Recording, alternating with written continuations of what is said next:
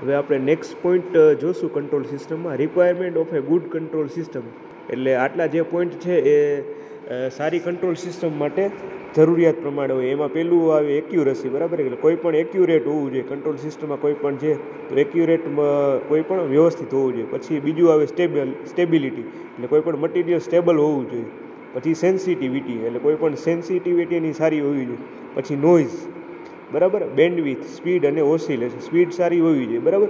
Oscillation એટલે આપ signal હોય જે ઉપર નીચે થતા હોય. બેન્ડવિથ એટલે ફ્રિકવન્સી આપણે જેને કંઈ આવૃત્તિ, બરાબર? એ રીતે. એટલે આટલા પોઈન્ટ્સ છે જે સારી કંટ્રોલ સિસ્ટમ માટે રિક્વાયર્ડ હોય એટલે જરૂરિયાત accuracy stability sensitivity noise bandwidth speed અને ઓસિલેશન બરાબર?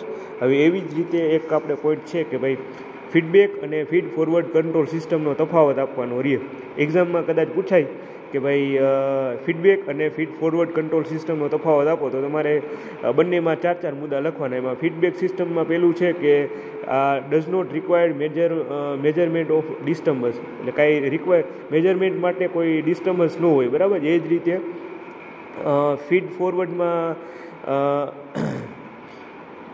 required identification and direct measurement of all disturbance in the system એટલે ટૂંકમાં મેજરમેન્ટ માટે ટૂંકમાં આઈડેન્ટિફિકેશન જોઈએ. બરાબર? એવું પછી આ ફીડબેક ફીડબેક કંટ્રોલ સિસ્ટમમાં સેન્સિટિવ હોય. Insensitive to modelling error modelling error error છે ને, એને ઇન્સેન્સિટિવ હોય. બરાબર? પછી સેન્સિટિવ ટુ મોડલિંગ એરર અને આપણે ત્રીજો point adaptable to non linear system non linear સિસ્ટમની એડેપ્ટેબલ હોય, બરાબર? અને આ નોન એડેપ્ટેબલ હોય નોન લિનિયર સિસ્ટમ બરાબર? પછી મોડલનું ટૂંકમાં એક્યુરેટ નો મો એક્યુરેટ મોડલ ઇઝ રિક્વાયર્ડ એટલે એક્યુરેટ મોડલ આની કંઈ જરૂરિયાત નથી. અને accurate model required for control system અને insensitive to pro process parameter changes એટલે ચેન્જીસ કરવામાં પેલું પેલું વધારે રહે અને પછી આ સેન્સિટિવ ટુ પ્રોસેસ પેરામીટર એટલે આ થયું આપણે comparison between feedback and feed forward control system